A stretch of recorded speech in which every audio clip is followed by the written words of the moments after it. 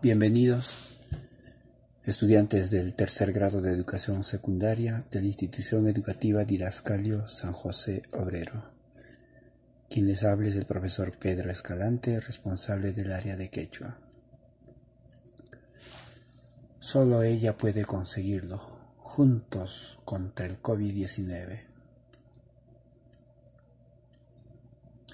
A iniciativa de nuestra institución educativa, Estamos haciendo una cadena de oración para que nuestra Madre interceda por nosotros ante su Hijo y ante el Padre, ante el Creador. No nos desanimemos. A veces estas situaciones son permitidas y a veces solamente esperamos estos hechos para acordarnos de nuestro Creador. El tema que a continuación presento es la producción de textos. Este es el repaso del grado anterior y ya hemos hablado casi al inicio del cuarto bimestre sobre los criterios elementales para la producción de textos, que están nuevamente escritos aquí. Lo único que tienen que hacer es recordar.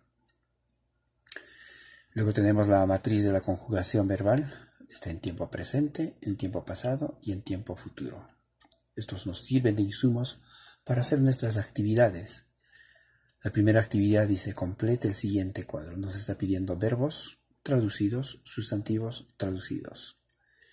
El cuadro número 2 nos está pidiendo sufijos sustantivales con el significado, enlaces y conectores con su significado.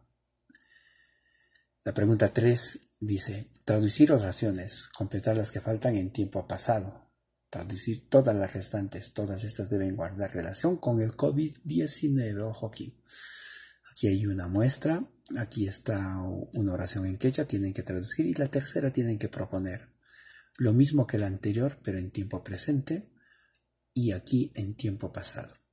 En la pregunta número 6 dice, utilizando mínimamente siete de las nuevas oraciones, nueve oraciones. Aquí nos va a salir tres oraciones, seis oraciones, nueve oraciones. Con siete de las nueve oraciones debo construir un texto. Aquí construyo el texto Recuerden que solamente hay que utilizar los enlaces o conectores para unir las oraciones y ya tengo el texto, su traducción. En la pregunta 7 dice de manera sucinta, escribe en castellano aquello que sabes del COVID-19, máximo 15 palabras. Se pueden ayudar con las lecturas de comunicación y de ciencia y tecnología, si es que la tienen, u otras áreas, ¿no?